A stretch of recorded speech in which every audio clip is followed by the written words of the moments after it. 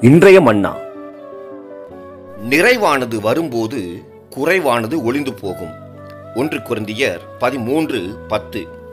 நம்முடைய தேவனுடைய விருப்பம் நம்ம எல்லாவற்றிலும் நிறைவாக நடத்த வேண்டும் என்பதே அவருடைய அலாதி பிரியம். நாம் ஒன்றிலும் குறைவுள்ளவர்களாய் வாழாதபடிக்கு நிறைவான நன்மைகளையே பெற்றுக்கொள்ள வேண்டும் என்பதே தேவனுடைய மிகப்பெரிய திட்டமாக இருக்கிறது. வேதத்தில் வாசித்து பார்க்கிறோம் நீங்கள் ஒன்றிலும் குறைவுள்ளவர்களாய் இராமல் பூரணராகவும் நிறைவுள்ளவர்களாயும் இருக்கும்படி பொறுமையானது பூரண கிரிய செய்ய கடவுது என்று சொல்லி ஆம் நாம் ஒன்றிலும் குறைவாய் இராமல் எல்லாவற்றையும் நிறைவாக அருளக்கூடிய அவருடைய நன்மை பெற்றுக்கொள்ள நாம் உட்பட வேண்டும். நம்முடைய வாழ்வில் இருக்கக்கூடிய குறைவு மாறுவதற்கு என்ன செய்ய வேண்டும்? யாக்கூப் அழகாய் சொல்லுகிறார் உங்களில் ஒருவன் ஞானத்தில் குறைவுள்ளவனாக இருந்தால் யாவருக்கும் சம்பூர்ணமாய் கொடுக்கிறவரும் ஒருவரையும் கடிந்து கொள்ளாதவரும் ஆகிய தேவனிடத்தில் கேட்க கடவன் அப்பொழுது அவனுக்கு கொடுக்கப்படும் என்று சொல்லியிருக்கிறார். ஆம் நம்முடைய வாழ்வில் குறைவு மாற வேண்டுமையானால் நாம் தேவனிடத்தில் கேட்க கற்றுக்கொள்ள வேண்டும். இயேசு சொன்னார் கேளுங்கள் அப்பொழுது உங்களுக்கு கொடுக்கப்படும் என்று சொல்லி